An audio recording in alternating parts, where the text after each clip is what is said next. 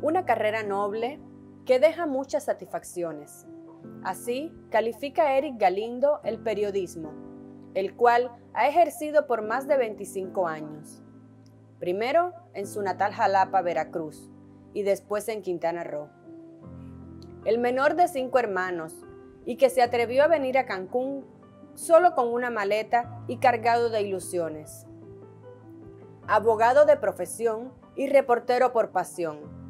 Eric Galindo narra los tres episodios que le han marcado la vida. El último, ganar el Premio Nacional de Periodismo, en conjunto con Adriana Varillas, Cecilia Suárez y Alejandro Castro, y dejar su nombre grabado en la historia del periodismo quintanarroense. Eric Galindo. Deja huella en el periodismo de Quintana Roo.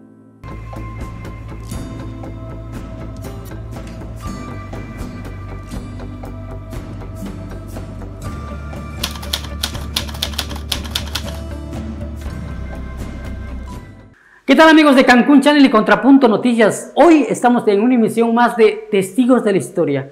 Reporteros que nos narran sus anécdotas, las, razones por las que eligieron ser periodistas y todo lo que han vivido a lo largo de su carrera. Hoy tengo conmigo a Eric Galindo, originario de Veracruz, con más de 25 años de historia. Eric Galindo, bienvenido a Cancún Channel. Gracias, Sergio. Muy bien. Eh, muchas gracias por invitarme y a tu público. 25 años en el periodismo se dice fácil. Tantas historias has vivido. Así es. Este, bueno, son 25 años que parecen 25 minutos bajo el agua, que no creo que los aguante, ¿no? Pero, sí es bastante satisfactorio este, pues esta carrera tan noble que te llena de mucha, de mucha satisfacción, ¿no? De lo que haces y, y que, bueno, sirve para ayudar a mucha gente esta, esta carrera por lo que tú eh, escribes, por lo que tú plasmas y lo que quieres dar a, a, conocer a la gente, ¿no? Y bueno, pues vamos a ver qué, más nos, ahora sí que se lo dejamos todo al Señor para ver cuántos años más nos permita seguir este, esta, con esta noble labor, ¿no? Eric, originario de Veracruz, ¿cómo fue la niñez de Eric? Bueno, eh, yo soy originario de Jalapa, Veracruz, ahí nací, eh, nací en el 72 y pues fue una niñez bastante, creo que te puedo eh, decir que fue una de las mejores etapas de mi vida, de lo que fue la niñez y mi adolescencia viviéndola ahí, porque eh, fue esa transición ¿no? de, la época, de que, bueno, eh, jugabas con, ahora sí que con canicas, con el yoyo, con el trompo, que ahorita eh, pues estas generaciones ya no se ve eso. Ni lo conocen. Ni lo conocen.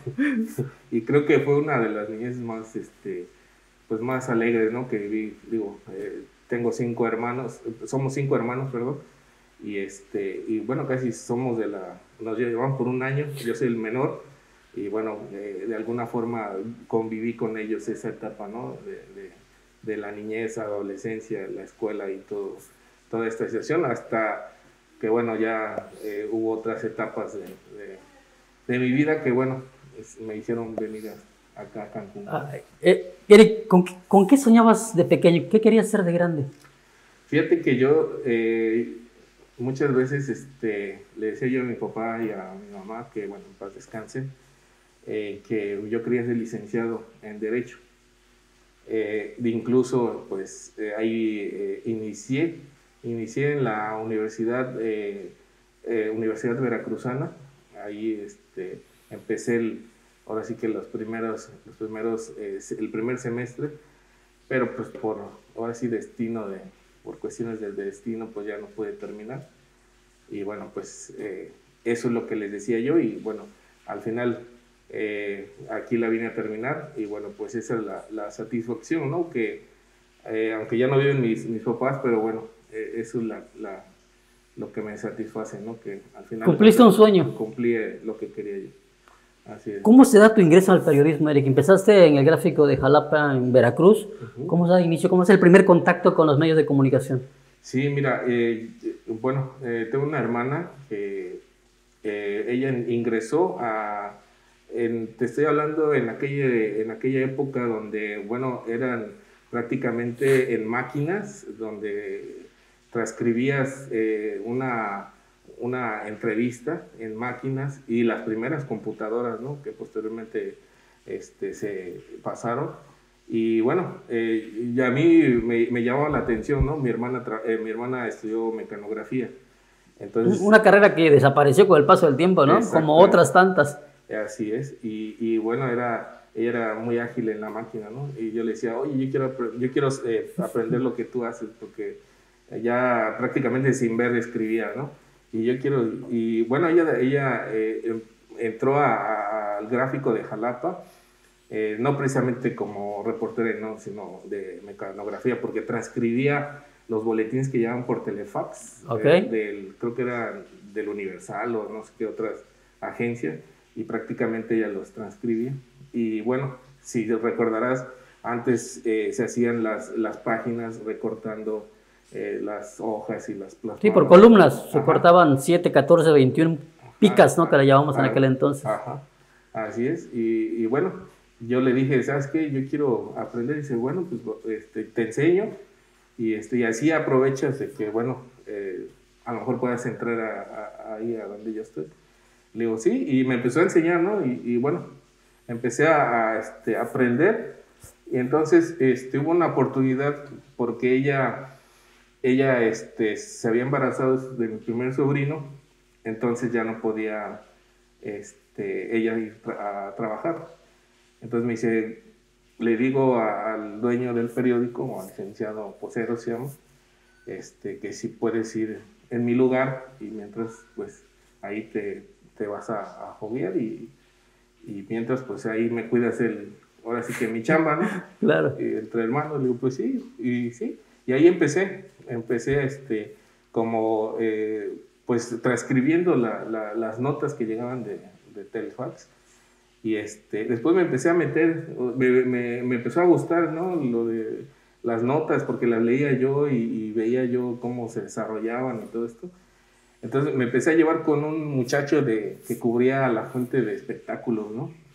Y me interesaba porque, bueno, me llevaba la atención porque eh, iba a los eventos, este, copiaba los nombres de las, de las personas a las que le tomaba fotos y ya después, ya en la, en la, en la máquina, empecé a escribir y, lo veía yo. Y le digo, ¿qué? Le digo, es, es difícil esa chamba. Y dice, no, dice, así que nada más tienes que tener buena ortografía y, y, plasmar lo que tú estás viendo, lo que está, este, el evento, lo que está sucediendo. Y ya me empecé a juntar con él y ya fue que me empezó a, a enseñar, ¿no? A, a, a cómo, cómo este, eh, pues de estructurar, ¿no? Su, eh, bueno, como él, él estructuraba su, su información, ¿no? Y así empecé y ya después me, me empezó a, este, a dejar que yo lo hiciera. Ahí empecé, después este, me, metí, me, perdón, me metí mucho con, el, con un compañero que se llama Abraham Alcántara, él cubría la fuente de deportes. Y de ahí me fui con él y empecé a, con él a, igual a aprender en cuanto a deportes. De hecho, todavía él está, él labora ahí en el, en, el periódico. Digo, ya ahorita ya no tiene, como todos, ¿no? Ya van perdiendo por la transición esa de la tecnología. La tecnología. Ya ahorita este, prácticamente nada más manda sus notas, pero él tiene una página que, donde escribe puro deporte. Okay. Entonces con él, eh, este, igual empecé a aprender y aprender ya después ya, mm, pues a mí me, me dejaban ya, este... A cargo. Ajá, solo, ¿no? Y, ahí empecé. Ya después se dio un tiempo, o sea, después de, de eso ya eh, pasó unos dos o tres años que, bueno, eh, mi papá enfermó, después mi mamá y, bueno, eh, pues por azares del destino, pues sí, este, me pegó mucho su, su, su muerte y fue que, este, una hermana dijo, no, pues si quieres vete a, Cancún, conozco a alguien que, a un vecino que pueda. Este". Ok, tres años trabajando ya en Veracruz en los medios de, comunicación y dices, tengo que cambiar de aires. Ajá, así es. Y por recomendación de tu hermana dices, pues Cancún. Cancún. ¿No conocías Cancún con antelación? Eh, sí, fíjate que una vez yo vine en el 92, pero vine, vine eh, en, ahora sí que yo, eh, bueno, allá en Veracruz entrenaba yo eh, karate Entonces vine con la selección de Veracruz a competir aquí al, eh, que está aquí por la Chichen y... ¿Cecilio Chi? Eh, no, está la Chichen y Tulum, el que está... que ahorita ya es un domo. Ah, ok, en el Jacinto, Jacinto Canec. Ajá, antes era... Sí, sí. Estaba cubierto todo, ¿no? Es correcto. Ah, bueno, ahí nosotros venimos a competir en el 92. De hecho, este, nos fuimos a las playas. Digo, apenas estaba construyendo... Es, no, bueno, la única discoteca que me acuerdo que había era la Daddy O. Daddy O y estaba la Boon. Ajá. Ahí en la zona, ah, en, el la corazón de, la, de la zona. De la, apenas creo que se estaba construyendo el centro de convenciones. Es correcto. Eh, eh, y bueno, eh, desde esa vez, este, nada más tuvimos como unos cuatro o cinco días, ¿no? Que duró la competencia. Y ya, este, pero sí, me, me encantó. Me encantó. Me, gustó mucho. Y como te dijeron, puedes ir a vivir allá, te latió la idea. Sí, y cuando me dijo mi hermano, ¿sabes qué? Yo conozco un amigo allá que puede, este, te va a conseguir chamba y te puedes ir allá un ratito y ya después si quieres te regresas. Le digo, sí, como digo, ya había venido, le digo, sí, me, me había gustado. Vienes con una maleta, cargado de sueños. Eh, literal, literal, nada más una maleta. claro. Y sin conocer a nadie, llegué a la terminal de Ledo, el chavo este con un papelito acá, con mi nombre. Eric Galindo. soy yo. Eric Galindo, ya soy yo. Y ya, de ahí a, para el Real. Y... Inicias trabajando en los medios de comunicación en el Por Esto, luego estuviste en la Crónica, Novedades de Quintana Roo. Así es. Fuera de eso, ¿no te, no te desempeñaste en el sector turístico? Eh, Llegando, cuando uno llega desesperado, pues lo que quiero es trabajar, luego veo cómo me acomodo, ¿no? Sí, precisamente cuando yo llego acá, este muchacho que le agradezco, eh, bueno, ahorita él ya no está, ya se regresó a Veracruz, pero él eh, me consiguió trabajo de, así que de seguridad en, en un hotel eh, que está aquí por este Caribbean Princess se llama. Ok, sí. Eh, que está muy cerca de aquí de la entrada. Ahí, este, pues ahí inicié, pero pues yo como no, digo, no me sentía yo como que estaba yo en, lo mío. Estás a gusto. Pues. Ajá. Eh, no, no te puedo decir que, creo que duré como seis o siete meses ahí. Vi que, que ese, bueno, estaba yo hojeando el por esto y vi que estaban solicitando ayudantes de redacción. Y dije, no, pues, le digo, pues voy a preguntarle, digo, pues a mí, le digo, esto es lo que a mí me gusta y voy a intentarle, ¿no? Y gracias a Dios, este, bueno, eh, el por esto ya estaba aquí en la calle. Venado. Ahí, exactamente. Y me entrevisté con aquel entonces era Jaime Vargas. Ah, ok, sí. Estaba como eh, Coordinador. Coordinador, estaba como coordinador. Y bueno, ahí me entrevisté con él, y dice, órale, dice, bueno, te vamos a poner a prueba 15 días, y ya si la haces, pues te quedas. Y fíjate que, fíjate que estaba yo en, en este, estaba yo ahí eh, entre, si me quedaba yo, o sea, si me aceptaban, pues ya me quedaba, ¿no? Si me decían que no, así, iba yo, literalmente iba yo a, regresar a, a Veracruz.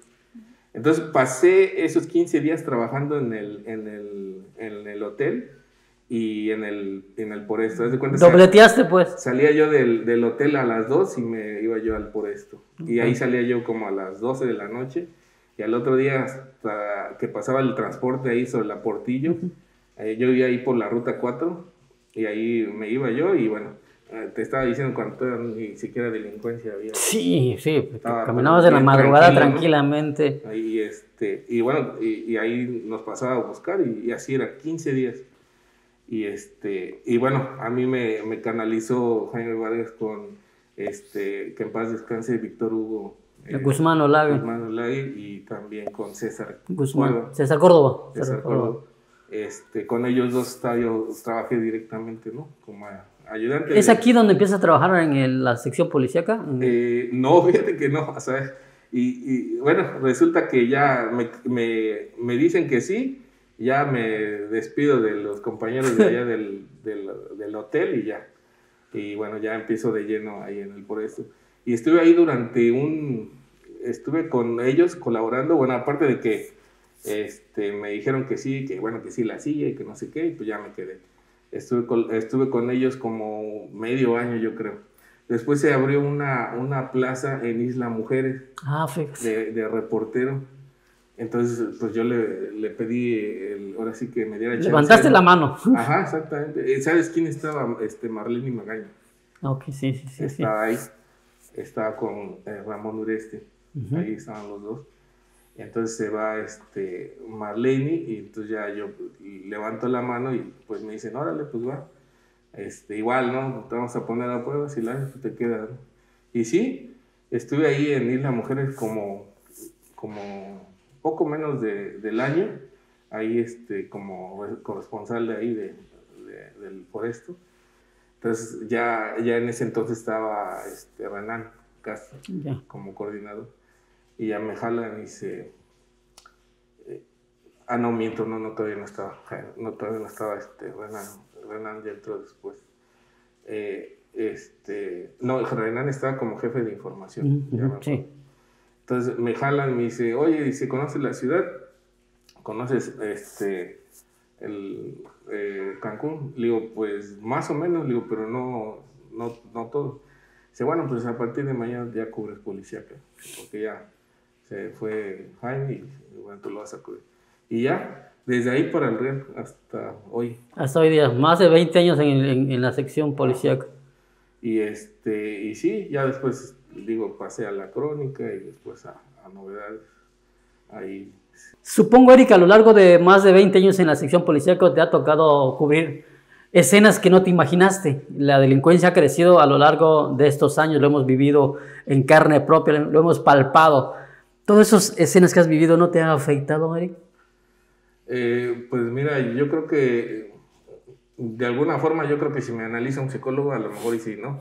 Pero bueno, yo eh, así mm, siento que, que no, bueno, eh, yo creo que mi, para distraerme o para desestresarme de todo lo que este, pues he Vives todos los visto, días. todo lo que ve- ves todos los días, a mí, digo, mi hobby me des- y mi desestrés es ir al cine Ah, ok. y sentarme con unas palomitas y estar viendo, así sea la película más chafa, pero me gusta verla, ¿no? O sea, me gusta disfrutar eh, el cine, ¿no? Y, y creo que todas las semanas voy y veo de dos a tres películas cada fin de semana. ok. Y, y bueno, yo creo que no, lo, lo, lo que sí este, te puedo decir que me, me puede y sí me causa eh, así coraje es cuando, cuando se involucran menores de edad, niños, que ves que, que bueno, eh, que, eh, que no sé, que a lo mejor en un accidente perdieron la vida o que, no sé, una bala perdida, pues le tocó a alguno de ellos y, y ver el cuerpo, ¿no? Y, eso sí, como que sí siento que, que me puede o me afecta. Una vez te comento, ¿no? Que un, eh, una vez cubrí un accidente, estaba yo creo que en la crónica, y fue un accidente ahí en la ruta 5 por la 100, donde un tipo que se había, eh, había sacado un vehículo sin permiso, él, él era seguridad privada, y este, venía huyendo sobre la ruta 5, venía del, de la Cava, porque ya lo venían siguiendo porque había chocado por allá. Y va sobre la ruta 5, pasa a la Chacmol y adelante de la Chacmol hay un paso peatonal. Ujú. Entonces este tipo lo, lo agarra a toda la velocidad en la que iba.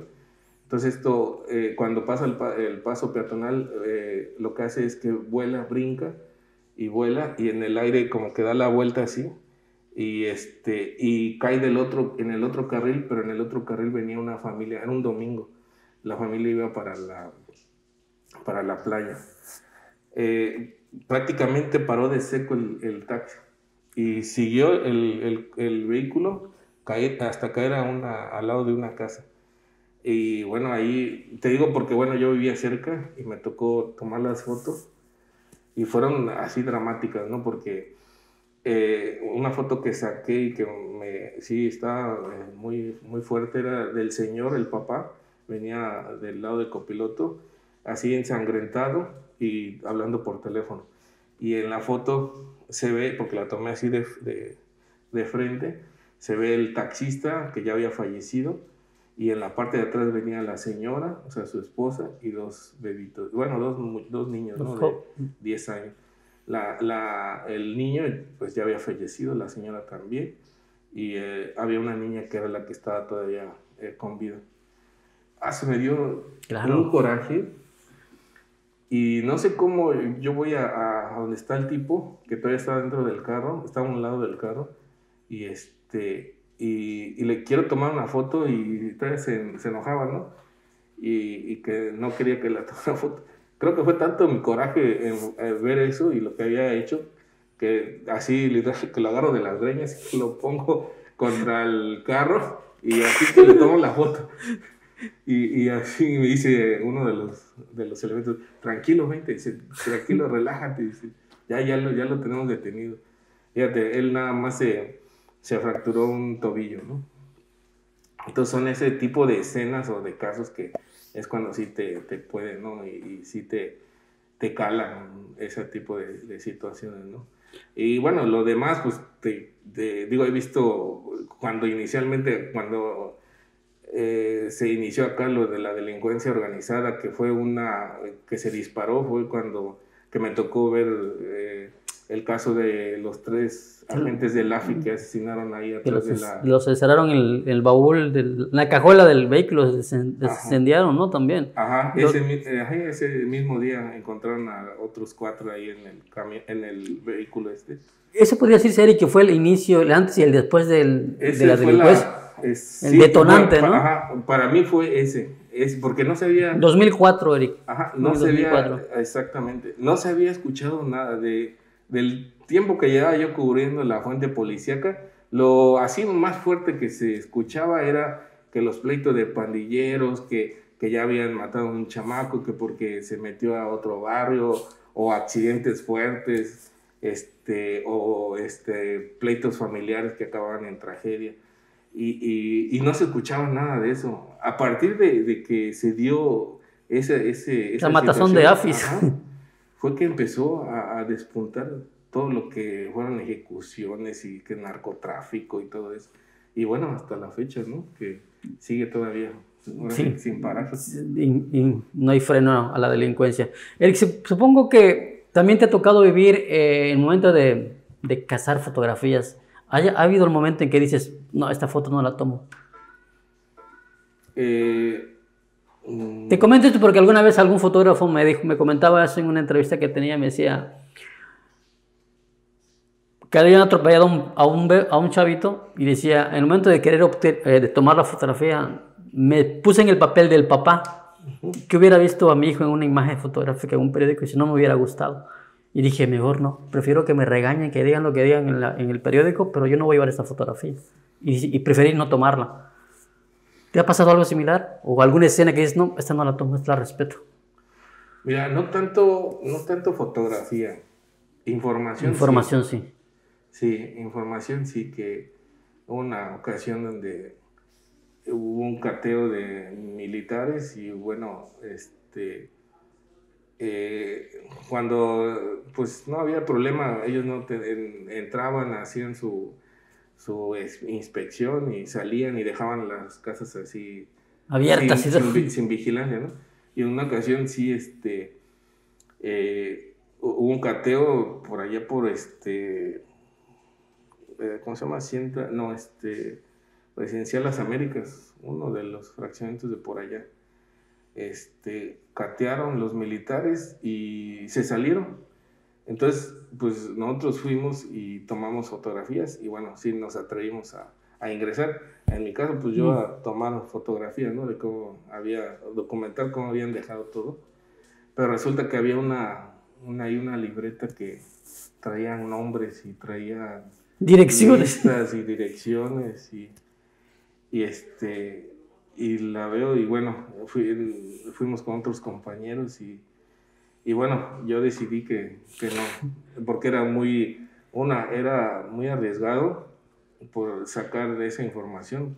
Una por el lado de que no sabes si más adelante te fueran a jalar las autoridades por este, por pues agarrar evidencia, ¿no? Y otra pues también no sabes eh, qué, qué, delincuentes o qué personas están involucradas que bueno te puede igual a, a afectar, ¿no? Entonces decidí, junto con el otro compañero que trabajaba con, con ahí en el periódico, que mejor dejarla así, nada más sacar lo que es el hecho y, y evitar los problemas eh, legales o, o de riesgo. ¿no? Sí, consecuencias que podrían traer a lo largo de, de, la vida. Eric, a lo largo de más de dos décadas de trabajo, ¿has sufrido amenazas en el desempeño de, tu actividad?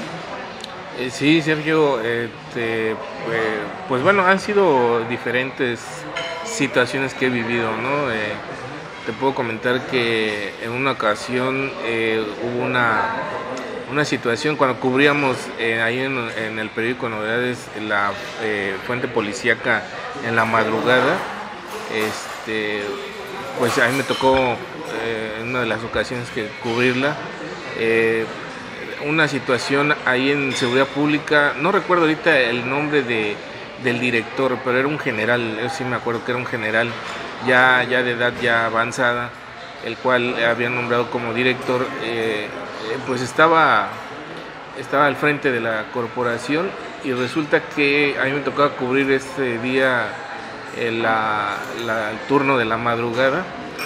Entonces, pues yo eh, cubriendo eh, lo que era el, hecho. no el hecho, sino lo que era el, sector de seguridad pública. ahorita es muy, muy diferente a como están ahorita las instalaciones. Antes era una explanada y bueno, podías entrar ah, libremente, ¿no? Y yo recuerdo que en esa ocasión eh, había habido un pleito de pandillas en la región 100 y habían detenido a varias, varias, varios jóvenes. Entonces yo me trasladé a Seguridad Pública precisamente para darle seguimiento y tomar algunas fotos. Entonces cuando yo llego veo que estaba este general o el director estaba reunido con varios varias personas, están, pero bastantes, ¿no? Están así como en, un círculo. Yo pensé que se trataba de ese asunto, ¿no? Y, que, bueno, pues yo me acerqué y pues como cualquier reportero, ¿no? A tomar fotos y a sacar información. Y resulta que, bueno, eh, me acerco, y me pongo, el señor estaba enfrente, me pongo hacia este lado y eh, pues alzo la mano para tomar la fotografía. Eran cámaras de las primeras digitales que empezaron a, circular. Eh, bueno, a tener los compañeros reporteros, a nosotros nos habían dado una y agarro y tomo la foto. Entonces, lógico, pues salió el, el flachazo y cuando ve el flachazo este señor, luego, luego, luego me volteé a ver y se me viene encima, ¿no? Entonces a quererme quitar la cámara. Entonces yo lo que hice fue replegarme hacia atrás y agarrar la cámara y ponérmela atrás, ¿no? Y dice, ¿tú quién eres? Y me empieza a decir, ¿no? Y le digo, no, pues, le digo, soy reportero, le digo, de novedades. No, pero identifícate, que no es que... Y había, habían, eh, había un, uno que era, era un licenciado que estaba en el área jurídica que me conocía, porque ya tenía rato que, lo, que yo lo conocía, ¿no? Entonces, este, pues este licenciado, en lugar de, decirme, de decirle, oye, yo sí conozco al al reportero, ¿no? O si es reportero. No, este, este señor, el director, me como que me, me, puso contra, me, no, no, no, no me llegó a empujar, pero sí me puso contra un pilar que está ahí y como que me rodearon, ¿no? Entonces llegó ahí uno, un comandante y, este, y prácticamente me privaron de la libertad y me encerraron, me encerraron en una de las oficinas pero para eso me dice este señor, dice, identifícate, dice, identifícate. Entonces yo agarré, saqué mi cartera, que ahí traía mi credencial del periódico. No, todavía ni siquiera la había yo abierto cuando me la arrebata este señor, el, director, y se la da al, licenciado ese que te dije, ¿no? Este, para que averiguara o para que preguntara si, si yo trabajaba yo en novedades, ¿no? Y ya resulta que me meten a, la, a un cuarto, eh, que era creo que el área de coordinación de ahí de, de Ciudad Pública. Y yo le digo al comandante, porque yo lo conocía, le digo, ¿qué onda, comandante? Le digo, ¿qué pasó? Le digo, ¿por qué, ¿por qué están actuando así? Le digo, si tú me conoces. Entonces me la quise así disfrazar. Dice, tú tranquilo, si es que el señor está medio alterado. Le digo, pero pues es que no, no, no puedes hacerme eso. Le digo, me estás privando de la libertad. Si ahorita, ahorita ya te suelto. El chiste que este, le hablaron a, la que era mi jefa, Laura Ortiz, le hablaron porque este, ya me habían este, encerrado en la oficina Y bueno, como a los cinco minutos me, me soltaron, ¿no? O sea, me, me dejaron ir. ¿Y qué estaban ocultando, Eric? Mira, ya posteriormente me enteré que estaban reunidos, eh, o este señor estaba reunido o tenía algún tipo de negocio con un abogado muy famosito de aquí que es medio malandrón. Que este, bueno, no te quiero decir quién es porque todavía anda por acá, pero bueno, estaba reunido con él y incluso cuando yo salí de la oficina me quisieron comprar la fotografía, porque así literalmente me dijo esa persona, no, no el, el abogado, sino el hijo del abogado, que es un abogado también muy famoso. Entonces me dice, oye, te compro la... ¿Cuánto quieres por la fotografía? Le digo, no, le digo, ¿sabes qué? Yo no te puedo vender este, la fotografía. Le digo, además, le digo, ya no está en mis manos vendértela o no. Le digo, si quieres que no salga o que o la quieres comprar, ve directamente al periódico. Le digo, y allá te arreglas con los libros. Y que ahora le que sí, pues le digo, no, no, la verdad no. Ya no me insistió. Entonces, en ese entonces estaba el famoso eh, Felipe Argüelles Manduján, no sé si te acuerdas. El Rayo. El Rayo. Y también me interceptó ahí en la esplanada y me dijo, oye, dice, no vais a sacar nada, dice, porque es que el señor ese y está medio alterado y te confundió con otro reportero que le anda tirando grilla y que no sé qué. Y ya yo para eh, quitármelo así de encima, nomás le dije, sí, está bien, no, hay problema. Y ya, eh, resulta que yo me, me quito de ahí de, de Ciudad Pública y me voy a la Cruz Roja para hacer guardia allá. Pero allá este, yo llegó el- mi jefa, ¿no? Este, Laura, y, este, y le explico cómo había estado la situación. Incluso le enseñé todavía la fotografía, la imagen, le digo, fue por esto nada más. Y ella me dice, bueno, dice, no, ya no vayas para allá, quédate acá a hacer guardia y ya escribe lo que pasó. Digo, sí, está bien. Y bueno, ya, eh, eh, te estoy diciendo que eso eran como las, mm, como la medianoche, ¿no? Y ya yo me quedé ahí en la Cruz Roja. Entonces yo, pues, eh, ahí luego como me llevaba con varios eh, paramédicos, eh, digo, hay veces que me daban eh, o me daban la facilidad de irme con ellos para cubrir algún accidente, todo eso.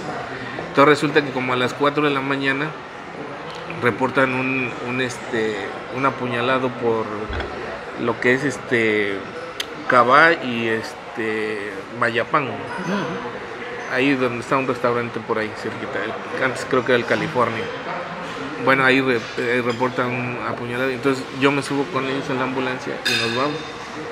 Y dio, de vuel- dio vueltas el paramédico y no encontró, bueno, el operador y no, no encontramos nada. Y ya nos regresamos, pero ya cuando íbamos llegando a la base, eh, le reportan oh, un supuesto accidente por Plaza las Américas. Nos fuimos, porque todavía pasamos frente a la, a la base de la Cruz Roja y nos fuimos hacia el, la Cruz Roja, hacia, la Plaza las Américas, perdón. Y también fuimos, estuvimos dando vueltas y Nada. nada. Entonces nos regresamos por la estanca, bajamos y ya se metió la ambulancia de reversa porque el otro, la otra salida antes eran dos.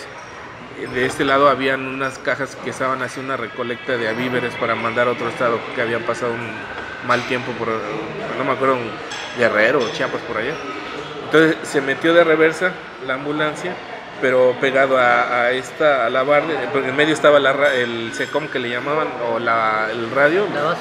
la base de radio. De este lado había cajas de víveres, entonces se metió de reversa para estacionarse. Y ya cuando se estaciona, pues se baja primero el, el operador, que se llama Martín, no, perdón, este Manuel, se baja y, después eh, el, su paramédico se quedó arriba todavía llenando unas hojas. Yo me bajo del lateral, de la puerta lateral de la ambulancia y cuando yo me bajo, como estaba oscuro, veo que venía el, el operador, venía así en, entre medio del pasillito, venía hacia donde estaba yo y yo vi a una persona que venía atrás de él, pero yo pensé que era este pues su amigo o algún otro paramédico. El chiste es que cuando ya este me los topé ya de, frente? de frente, el que venía atrás que eh, saca la mano y que me pone un arma enfrente, ¿no? Que, me amena- que me amaga. Y me dice, volteate, dice, y vete para atrás. Y ya que agarro y me volteé, ¿no? Y nos pusieron, bueno, a mí al, al operador nos pusieron atrás de, de la, de la ambulancia, pero pegado a la pared, y nos arrodillaron, nos, nos pusieron así como mirando Sí, a la pared. sí. Y, este, y arrodillado, ¿no? Entonces me dice a mí, dice, a ver, dice, dame tú la cámara, ¿no? Entonces ya pues, yo agarré y le di la cámara y en ese entonces nos habían dado, cuando se usaban los beepers, que ahí es donde te mandaban mensajes y todo los jefes, ¿no? Entonces me dice, dame todo lo que traigas, ¿no? Entonces le di mi cartera, le di el, ese Viper y, la cámara, ¿no? Que era lo que... Pero más, yo, yo lo que eh, vi extraño es que más se estaba enfocando en la cámara. Insistiendo en la cámara. Y ya pues se la di, ¿no? Entonces nos quedamos los dos con las manos acá y arrodillados, pero eh, nosotros no sabíamos que, que habían otros, otros tipos que estaban amagando al, al operador y al, al paramédico que se ha quedado arriba de la ambulancia. Y este. O sea, eran varios tipos que, que llegaron al lugar para amedrentarlos. Ajá, ajá. Y resulta que este. Pues.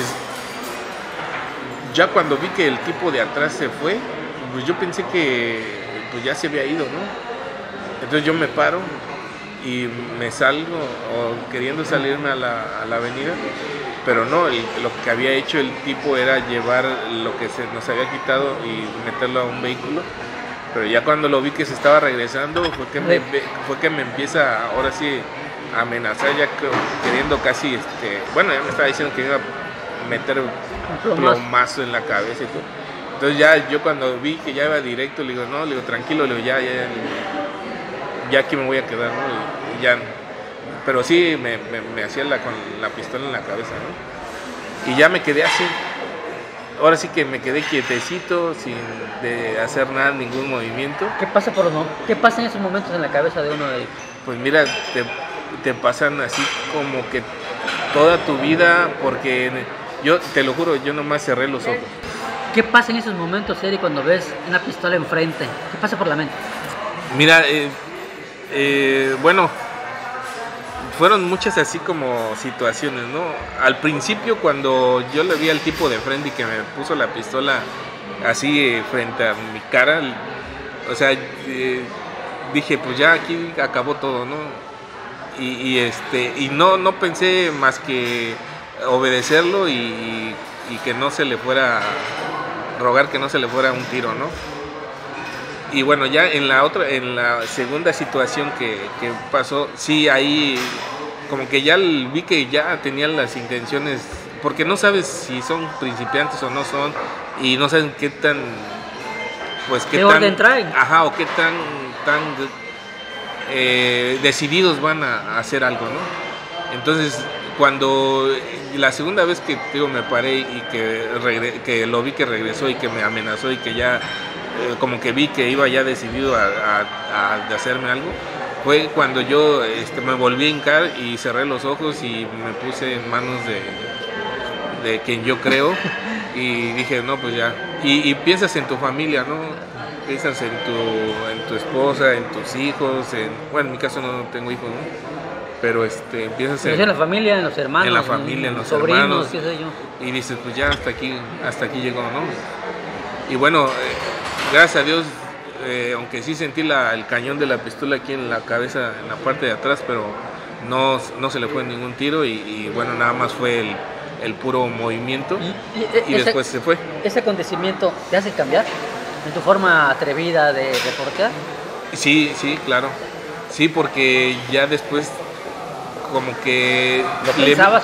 como que le mides ya más la el agua a los camotes como, dicen, exactamente ya le mides eh, ya sabes dices no pues aquí puede pasar algo y mejor desde lejitos no y, este y, en ocasiones no pues aquí no pasa nada y sí no me aviento no y, así no pero sí fue fue muy muy este bueno en ese entonces no había no, no había nada de, la comisión de derechos, humanos, que defendieran, que defendieran ajá, no estaba la, el, el, ¿cómo se llama? El organismo este de protección a, los periodistas. a periodistas, no había nada, o sea, tú te las tenías que... Te las jugabas. Te las tenías que jugar tú solo, ¿no? O tenías que vértelas tú solo, ¿no? Y dije, por eso creo que nadie, ningún compañero se, se enteró, ¿no? Porque nada más fue como algo interno de, del periódico, porque ahí sí todos se enteraron porque eh, posteriormente, pues después de lo que sucedió, digo yo, pues casi, casi este, estaba yo casi seguro de que, había, de que habían mandado estos... Relacionaste el hecho acontecido unos momentos, unas horas antes, ¿no? Ajá. incluso hubo una reunión con este señor y con eh, su equipo de, prensa ahí en el, en el periódico, ¿no? Y, con, con el, con, bueno, en este caso con el dueño y los los que estaban en ese entonces como directivos y este y ahí yo presente ¿no? y yo sí se lo dije a él directamente le digo es que usted me amenazó y, me quitó la me trató de quitar la cámara me quitó mi, mi este mi cartera y dice no pero pues es que yo no sabía le digo no no le digo como sea le digo pero ese no era eh, la forma de, proceder de usted si yo me estaba identificando de palabra un, hecho sin un hecho que sin duda te cambia pero igual Eric un accidente te ha cambiado la vida. Hace aproximadamente 8 o 9 meses, un accidente, no laboral, en las calles de Cancún, como tantos accidentes, te deja marcado también, Eric. Cuéntanos un poco de ello. Sí, Sergio. Bueno, tiene aproximadamente unos 8 o 9 meses por ahí. Por ahí Bueno, fue en, febrero pasado. Sí, fíjate que, bueno, yo he manejado motocicleta eh, bueno, con decirte lo que yo compré una motocicleta sin todavía aprender a manejar, sin saber manejar y ahí este, dando vueltas alrededor del periódico ahí aprendí y este y bueno de ahí pues de ahí para el Real había siempre manejado empecé a manejar motocicleta ¿por qué? porque es más fácil desplazarse llegas más rápido a los eventos y, y te mueves más rápido ¿no? pero sí es muy muy peligrosa no porque eh, eh, eh, bueno, he tenido muchos accidentes, creo que la mayoría no, no fue mi culpa, siempre ha sido... Muy, ah, precavido al manejar. Ajá, sí.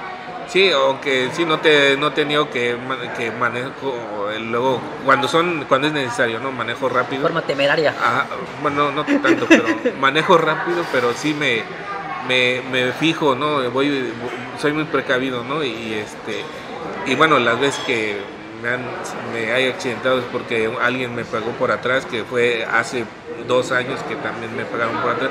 Y bueno, este que estaba yo de vacaciones, y bueno, estaba yo esperando el semáforo, el verde, ahí en Chichen Itza, entonces se pone el verde para mí, este, sigo, bueno, eh, avanzo y una señora se venía volando la luz roja y bueno, me impactó y...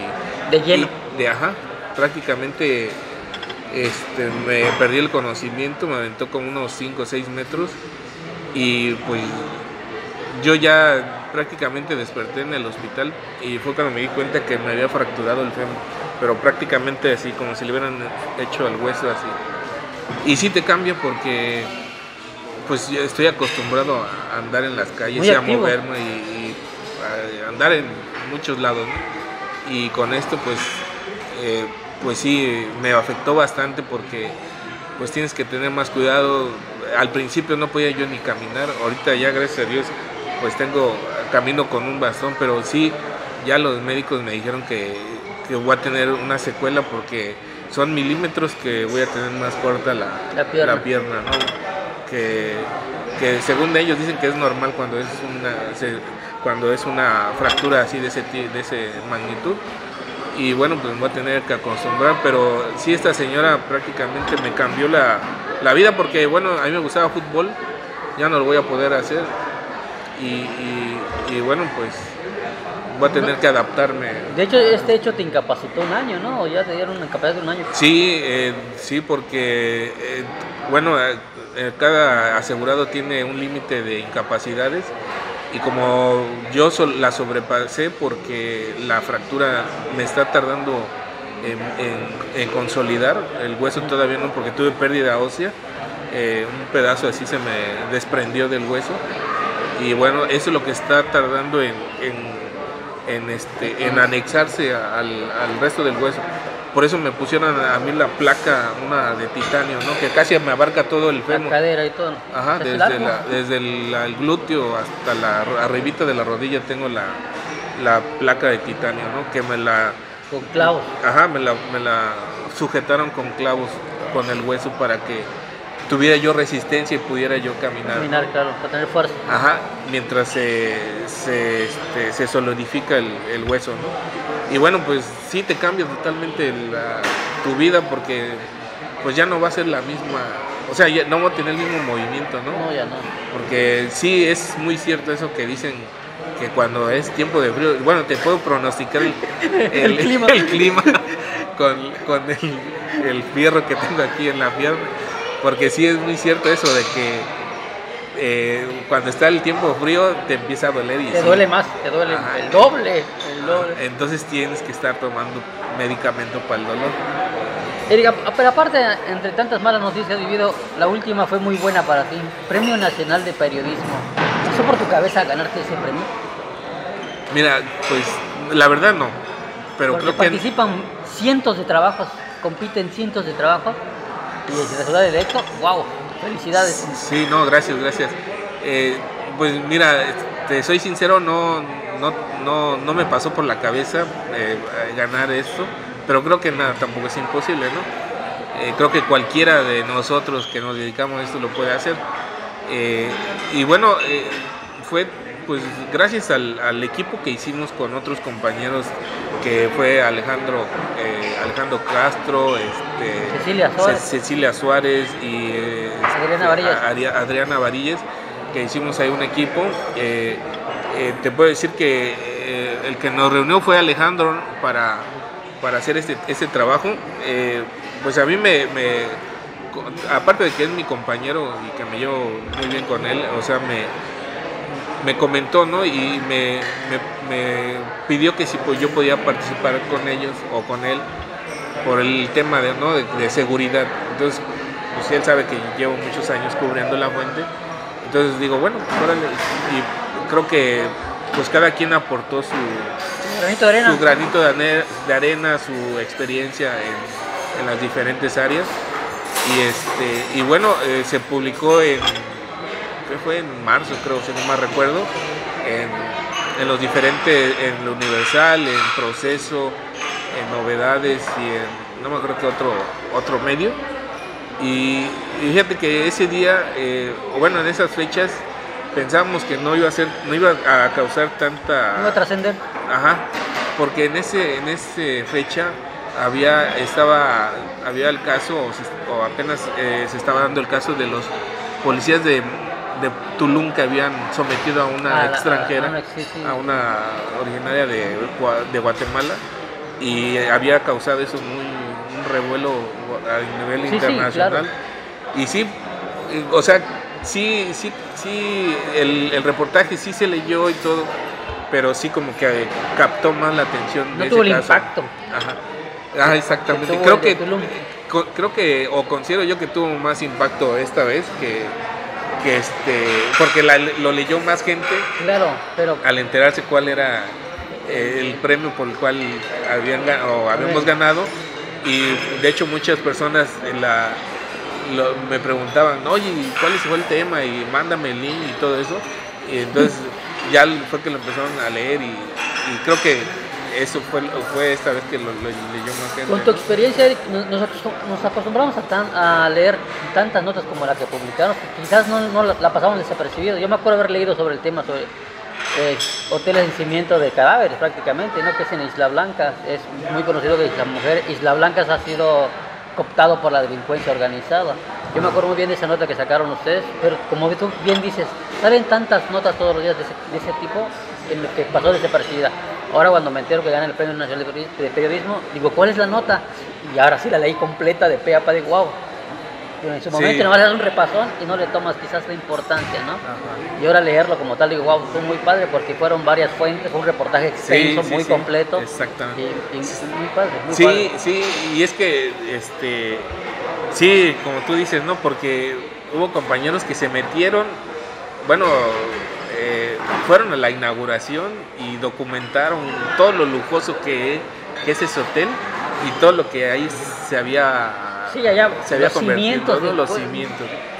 Y también documentamos el seguimiento de, de- de una de las madres de uno de los chavos que desaparecieron, así desde que desde que le dieron, bueno, desde que encontraron los restos, desde que le tomaron la prueba de ADN a los restos y a ella, y el, cuando le dieron la noticia que fue una, una mal, este, eh, no fue la forma de cómo Adecuada.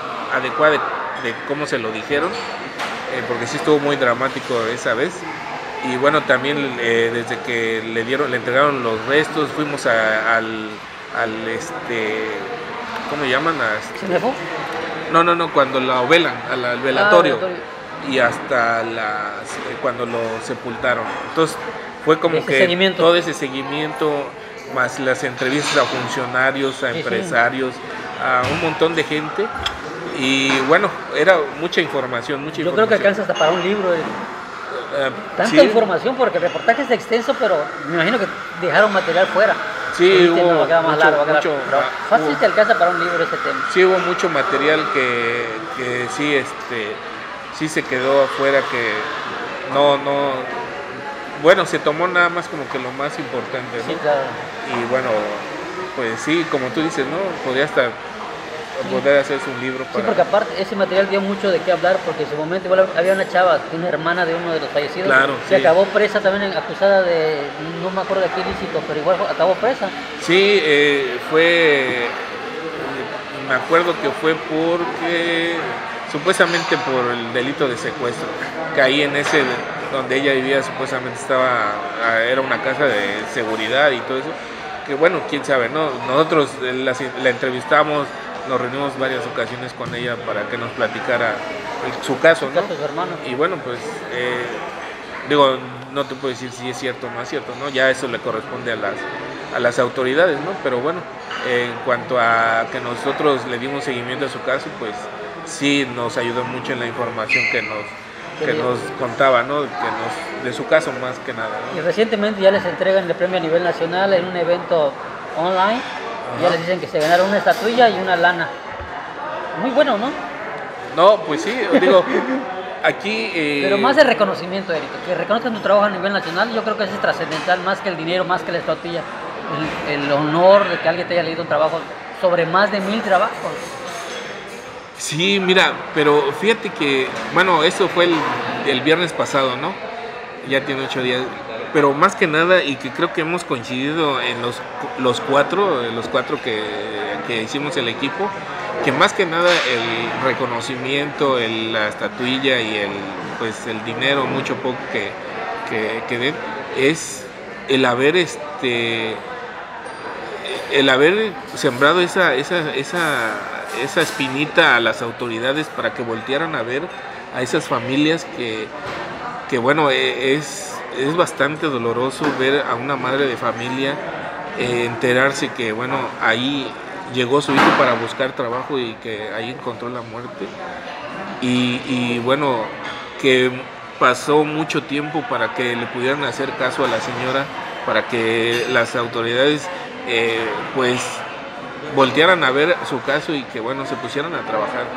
Era más que nada, es, digo, todos coincidimos que es más que nada eso, la satisfacción que bueno, aunque fue algo, no sé, muy pequeño que el, trabajo que hicimos eh, de que las autoridades voltearan a ver lo que estaba sucediendo ahí, que me imagino que ya, ya, ya, o ya sabían lo que sucedía, pero no, no, no tomaron cartas en el asunto hasta que no se vio publicado el trabajo y que bueno, pues ojalá y, así sean con los demás eh, los demás casos, ¿no? Que, es, importante que ese tipo de trabajos trasciendan y no solamente se queden en unos cuantos o solamente a nivel Quintana Roo, ¿no? Eric, muchas gracias por tu tiempo y por la entrevista a Testigos de la Historia. No, pues gracias a ustedes por invitarme y pues vamos a darle a lo que sigue. A lo que sigue. Amigos de Cancún Chan y Contrapunto Noticias, Eric Galindo, más de dos décadas en el periodismo, uno ya Escribe sus nombres en historia de Quintana Roo como uno de los primeros que gana el Premio Nacional de Periodismo. Testigos de la Historia,